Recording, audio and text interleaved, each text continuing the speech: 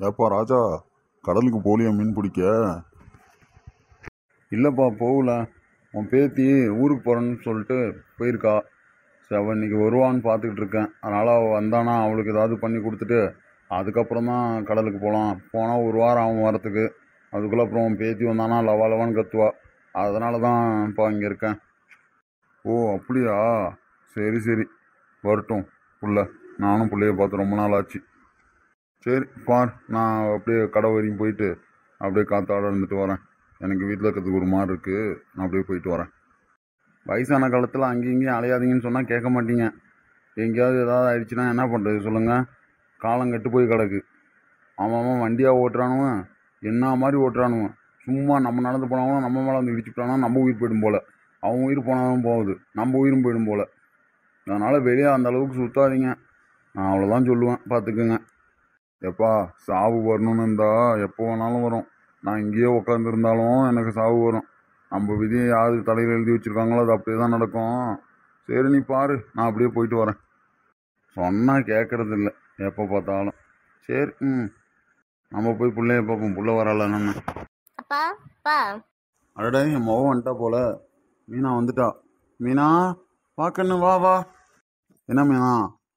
எக்ஸாம்லாம் நல்லா எழுதியிருக்கியா? ஒன்றும் பிரச்சனை இல்லை. நல்லா இருக்கல நீனு? ஆ நான் நல்லா இருக்கேன்ப்பா. நீங்கள் நல்லா இருக்கீங்களா? அதெல்லாம் ஒன்றும் பிரச்சனை இல்லைப்பா. எக்ஸாம் சூப்பராக எழுதியிருக்கேன். ஆ சரி கண்ணு சரி கண்ணு. நீ எக்ஸாம் நல்லா எழுதியிருப்பேன்னு எனக்கு தெரியும். இருந்தாலும் நான் ஒரு வார்த்தை கேட்கணும்ல. உன் மனசில் தெரியும்னு தோணும். அப்போ நம்மக்கிட்ட ஒரு வார்த்தை கூட கேட்கலையே அப்படின்னு. சரி கண்ணு. சரி பாரு. அங்கே சமைச்சு வச்சுருக்கேன். போய் சாப்பிடு. சரியா? நான் கொஞ்சம் வெளியே போயிட்டு வரட்டுமா? அப்பா இருங்க. நான் கொஞ்சம் பேசணும்.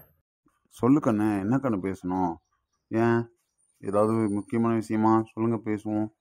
அப்பா நான் இந்த எக்ஸாம் முடிஞ்ச வாட்டி மார்க் வரதை பார்த்துட்டு நான் கொஞ்சம் மேலே படிக்கலான்னு இருக்கேன். நீங்கள் என்ன சொல்கிறீங்க மேலே படிக்கிறியா? ஏசாமி நம்ம குடும்பம் இருக்கிற நிலமையில மேலே படித்தா நம்ம குடும்பம் தாங்குமா? இதே நான் மீன் பிடிக்க போகிறதால ஏதோ கையில் கொஞ்சம் கொஞ்சம் காசு கிடைக்குது. அப்புறம் உனக்கு இந்த ஸ்காலர்ஷிப் வருது. அதை வச்சு அப்படியே கொஞ்சம் மல்லு கட்டி இப்படியே இது இது வரைக்கும் போயிருக்கு. இதுக்கு மேலே இன்னும் அந்த கப்பல் துறையெல்லாம் படிக்கணும் அப்படின்னா கொஞ்சம் கஷ்டங்கண்ணே சரி முடிஞ்ச அளவுக்கு பார்க்குறேன் நீ ஆசைப்படுற முடிஞ்ச அளவுக்கு நான் ட்ரை பண்ணுறேன் அதனால் என்னால் முடியல அப்படின்னா நீ அதுக்கப்புறம் என்னை கோச்சிக்க கூடாது கண்ணே. சரியா? ஏன்னா நமக்கு யாரும் உதவி பண்ணுறதுக்கு யாரும் இல்லை. நம்ம தான் பார்த்துக்கணும் சரியா? மனசில் அதிகமாக ஆசையை வளர்த்துக்காத. அவ்வளோதான் சரியா? அதெல்லாம் ஒன்றும் பிரச்சனை இல்லைப்பா. நீங்கள் சொல்கிற மாதிரியே பார்த்துக்கலாம் ஏன்ப்பா இன்னைக்கு மீன் பிடிக்க போகலையா நீங்கள் இல்லை கண்ணு. நீ வரேன்னு சொன்னாங்க. அதனால தான் உன்னை பார்த்து ஒன்ற பத்து இருபது நாள் ஆகுதா? சரி அப்படியே இருந்து உன்னை பார்த்துட்டு கொஞ்ச நேரம் பேசிட்டு அதுக்கப்புறம் போகலாம் நாளைக்கு நாளை முக்காந்து அப்படியே கிளம்பலாம் அப்படின்னு இருக்கேன் கண்ணு. ராமரனெல்லாம் போயிட்டாங்களா அடுத்து வரும்போது தான் சுசீல் அக்காவை பார்த்தேன். அவங்க தான் சொன்னாங்க இப்போ தான் போனாங்க அப்படின்னு. அதான் கேட்டேன்ப்பா ஆமாங்கண்ணு அவன் என்ன வா வான்னு சொல்லி சொன்னான். நான் தான் சரி நீ போடா. என் மொவ வரான் நான் என் மொவ கூட கொஞ்ச நேரம் பார்த்து பேசிட்டு அதுக்கப்புறம் வரேன் அப்படின்னு சொல்லி சொன்னேன். எனக்கு உன்னை விட ஒன்றும் அது முக்கியம் இல்லைல்ல கண்ணு. அதனால தான் கண்ணு. சரிப்பா அது வெளியே போகிறோம் நீங்களே போயிட்டு வாங்க. ஆ சரிம்மா. சரி நீ பாரு நான் போயிட்டு வரேன். கடவுளே எப்படியாவது நல்ல மார்க் வந்துடணும் அப்போ தான் ஸ்காலர்ஷிப்பில் நான் படிக்க முடியும். அப்பாவே ரொம்ப கஷ்டப்படக்கூடாது பாவம் அவர். கடவுள் தான் துணையாக இருக்கணும். என்ன பண்ணுறாரோ தெரியல. நம்ம நல்லா தான் எழுதியிருக்கோம். இருந்தாலும் கடவுள் துணையாக இருக்கணும்ல. ஏய் மீனா எப்படி வந்த? நல்லா இருக்கியா? எப்படி இருக்க? உங்க அப்பா இப்பதான் சொன்னாரு நீ வந்திருக்கேன்னு. நான் கேட்டேன் மீனா எப்போ வர அப்படின்னு. வந்துட்டாம்மா வீட்டில் தான் இருக்கா அப்படின்னு சொல்லி இப்பதான் சொன்னாரு. அதனால தான் துடு துடுன்னு ஓடியாந்து உன்னை பார்க்கலான்னு. எப்படி இருக்க? பார்த்து ரொம்ப நாள் ஆச்சு. நான் நல்லா இருக்கேன் கீதா. நீ எப்படி இருக்க? ஆ நல்லா இருக்கேன் நீ நல்லா இருக்கேன். நீ தானே டுவெல்த்து டென்த்து எல்லாத்துலேயும் பாஸ் பண்ணிட்டு ஜாலியாக படிக்கிறதுக்கு போயிட்ட. நான் அப்படியா? டென்த்து ஃபெயில் இல்லை அதனால அப்படியே ஜாலியாக ஊர் சுற்றிட்டு ஜாலியாக இருக்கேன். எனக்குலாம் ஒன்றும் பிரச்சனை இல்லை. டெய்லியும் நேர நேரத்துக்கு சாப்பிட வேண்டியதான் அப்படியே பசங்க கூட சுத்த வேண்டியதான் இதுதான் என் வேலை. வேற என்ன வேலை? அப்பப்போ அப்படியே அண்ணன் கூட போய் அப்படியே இந்த வலை பின்னுறது. அப்படியே சும்மா அந்த போட்டில் போய் கொஞ்ச நேரம் சுற்றுறது இதுதான் வேலை. வேறனா எந்த வேலையும் இல்லை. எங்கள் அம்மா கூட இப்போ அதிகமாக எனக்கு வேலை வைக்கிறது இல்லை தெரியுமா? ஒரே ஜாலி தான். சரிதான். படிக்கலங்கிறது உனக்கு இவ்வளோ சந்தோஷமா? அது உனக்கு இப்போ தெரியாது. போக போக தான் தெரியும். இன்னொரு வீட்டுக்கு நீ கல்யாணம் கல்யாணம் பண்ணி போனோன்னு வச்சுக்க. அப்போ தான் தெரிய போகுது உனக்கு படிக்கல. ஏன்டா நம்ம படிக்கலன்னு ரொம்ப கவலைப்பட போகிறது அதை அப்ப பார்த்துப்போம். விடு விடு பார்த்துக்கலாம். ஏன் அதை பத்தி நீ கல்யாணத்தை பத்தி அதுக்குள்ள போயிட்டேன் எனக்கு நானா கல்யாணமே பண்ணிக்க கூடாதுன்னு இருக்கேன். கல்யாணம் பண்ணா அங்க போனா மாமியார் கறி இதை செய்ய அதை செய் இதை செய்யாத அதை செய்யாதம்பா. நமக்கு இந்த காலைல எழுந்துச்சு அஞ்சு மணிக்கு எழுந்துச்சு சாணி தெளிச்சு கோலம் போடணும்பா. அப்புறம் துணி துவச்சு போடணும்பா இதெல்லாம் நமக்கு தேவையில்லை. எப்போ சாமி? இப்படியே நம்ம வாழ்க்கை ஃபுல்லா அப்படியே ஃப்ரீ பேடா ஜாலியா இருந்துட்டு போகணும். அதான் என்னோட எண்ணம். நடக்கும் நடக்கும். நீ நினைக்கிறதா நடக்கும் பாரு. கனவுல கூட இந்த மாதிரிலாம் நடக்காது. சரி நான் உன்கிட்ட வந்தா நீ சும்மா அட்வைஸ் பண்ணிட்டே இருப்ப. நீ பாரு நான் அப்படியே போறேன். பாய் அப்புறமா வரேன். பேசலாம். ஆ சரி கீதா. பார்த்து போயிட்டு வா. எங்க டீ குடிக்கலாம்னு வந்தா டீ கடைக்காரனையே காணும்? ஐயோ பெரியவரே நான் இங்க கீழே தான் இருக்கேன். அதுக்குள்ள டீ கடைக்காரனை காணும்னு போயிடாதீங்க. இங்க வாங்க. சரிதான் கீழே குனிஞ்சிட்டு என்னப்பா பண்ற? ஏப்பா தம்பி எனக்கு ரெண்டு டீ போடுப்பா. ஏன்னா ஒரு ஆள் வந்திருக்கீங்க ரெண்டு டீ கேட்குறீங்க அது என் பொண்டாட்டி வந்திருக்கா செத்து போன பொண்டாட்டி. அவளுக்கு ஒரு டீ கொடுக்கணும்ல அதனால. இது பேயோ? ஏப்பா ரெண்டு டீயும் எனக்கு தான்ப்பா. ரெண்டு டீ கேட்டால் எதுக்கு நீ எதுக்கு எவ்வளோன்னு கேட்டுக்கிட்டு. பேசாம டீயே போடுவியா? கோச்சிக்கிட்டு டீயே குடிக்காம போயிடுவேன். என்ன பெருமாள் அதுக்குள்ளே காலையிலே வந்து உட்காந்துட்டு போல? எனக்கு ஒரு வார்த்தை சொல்லியிருக்கலாம்ல நானும் வந்திருப்பல துணைக்கு. இல்லே உங்ககிட்ட நான் எத்தனை தடவை சொல்லியிருக்கேன்? பெருமாள்னு சொல்லி கூப்பிடாத சிங்க பெருமாள்னு கூப்பிடுன்னு சொல்லியிருக்கேன்ல. ஏய் விடுடா விடுடா கொத்திக்காத. எங்க உன் மவன்? கடலுக்கு போயிட்டானா? இல்லடா அவன் எங்க? அவன் இன்னைக்கு என் பேத்தி வரா ஊர்ல இருந்து. அதனால அவளை பார்க்கணுங்கிறதுக்காக இருக்கான். நாளைக்கு நாளை முக்கியம் கிளம்பிடுவான். ஏன் திடீர்னு வந்து கேட்குற அது ஒன்றும் இல்லடா. அவன் இருந்தா நீ இந்த டீ கடை பக்கத்துல வரமாட்டல அவன் இங்கே போவாத அங்கே போவாதான்னு அதிகமாக ரூல்ஸ் போடுவான். அதை கேட்டு நீ வீட்டிலே உட்காந்துருப்பியா அதனால கேட்டேன்.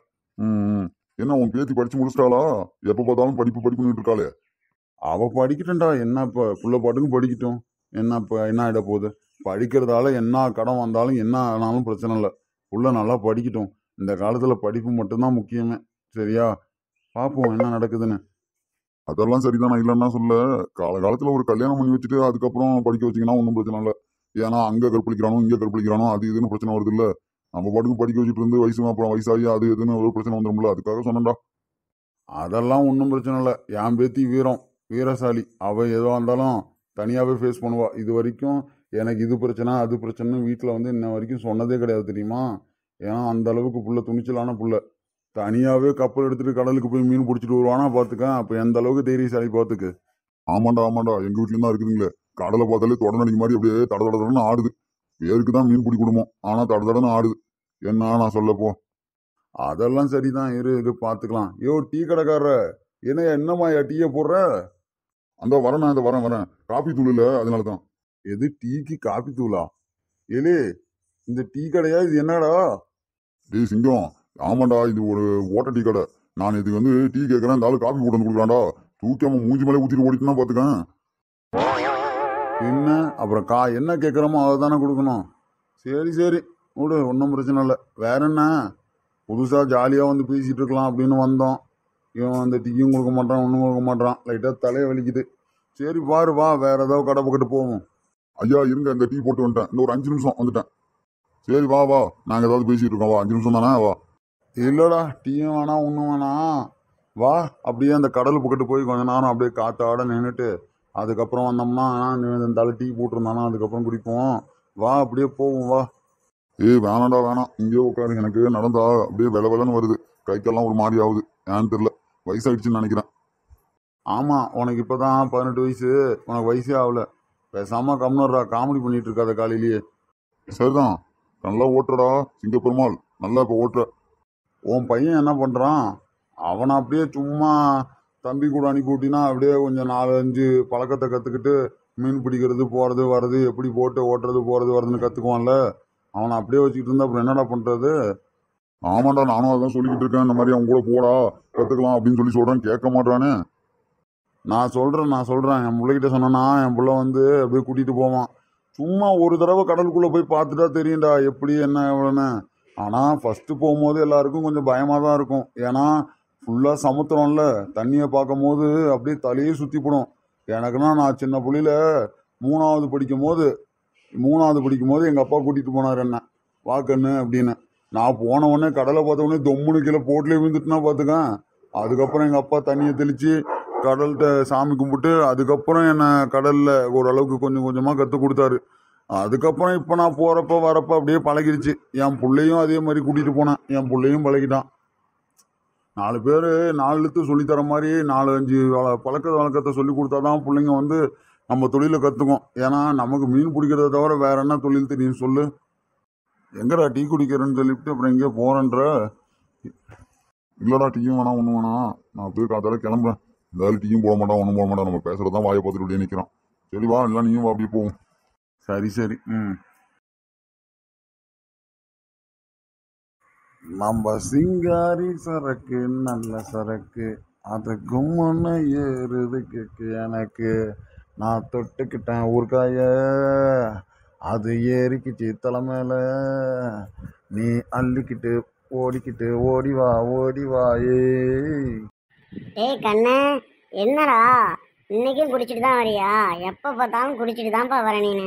சொல்கிற வச்சு கேட்க மாட்டேன் நான் ஊத்திக்கிட்டேன் மில்லிய. இப்ப தலையில கொட்ட போறோம் உன் மண்டையில. உன் ரெட்டை குடிமையை பிக்க போறேனே. எது ரெட்டை குடிமை விற்க போறியா? டேய் நான் என்னடா பேசிட்டு இருக்கேன்? என்ன நீ சொல்லிக்கிட்டு இருக்க? மா நான் சும்மா ஒரு ரெண்டு ஃபுல்லு தான் அடித்தேன் அதுவே தலைக்கு ஏறின மாதிரி இருக்கு. என்னன்னு தெரியல. அதான். என்ன மாயமோ தெரில என்ன மந்திரமோ தெரியல.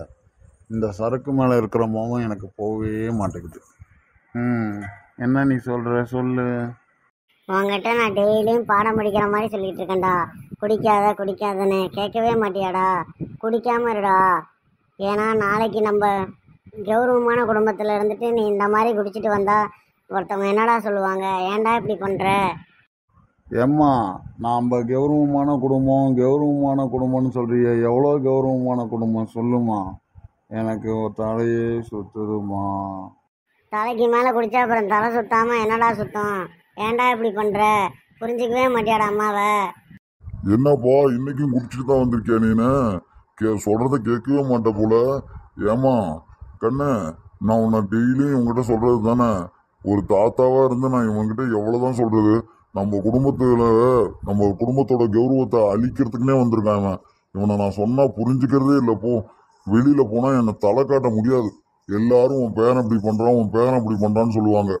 புரிஞ்சுக்க மாட்டியாமா நீனு உன் மொமெண்ட்டை சொல்ல மாட்டியா? இதுக்கு மேல பாத்துக்கிட்டே இரு. நம்ம குடும்ப கௌரவத்துக்கு ஏதாவது பிரச்சனை வந்தது அப்படின்னா நான் அப்புறம் மனுஷனாவே இருக்க மாட்டேன் பாத்துக்கு. எப்பா நீங்க உள்ள போங்க.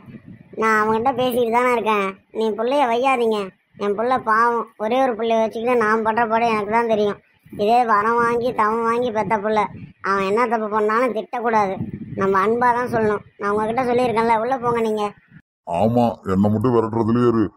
உலகத்தில் இல்லாத புள்ள பெற்று வச்சிருக்க புள்ள எப்போ பார்த்தாலும் குடிச்சு குடிச்சுட்டு வருது.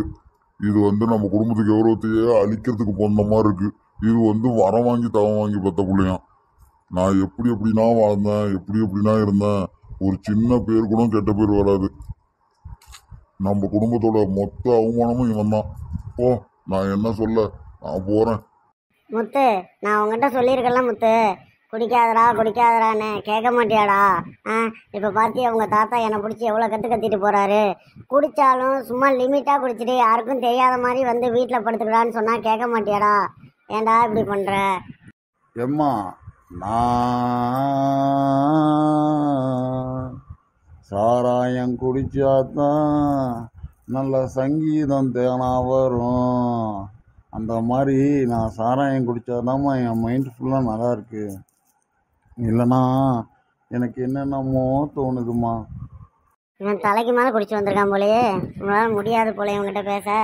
சரி நீ உள்ளே போ. நான் போகிறேன் புரிஞ்சதுக்கப்புறம் தான் இவனை கூப்பிட்டு பேசணும். தெளியதுக்கு முன்னாடி பேசினா எனக்கு புரியாது. என்ன பேசுகிறோம் என்ன பண்ணுறோம்னே புரியாது. குடிச்சா மட்டும் உனக்கு குடிக்காத பாட்டெல்லாம் மண்டமால வருதுடா.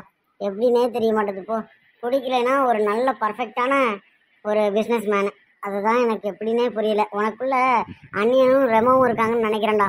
அப்பப்போ அண்ணினாவும் அப்பப்போ ரெமோவாகவும் மாறுற சரி ம் உனக்கிட்ட நான் என்ன சொல்ல? நான் வந்து சிக்கிக்கிட்டேன். இதுக்கு மேலே தப்பவா முடியும்.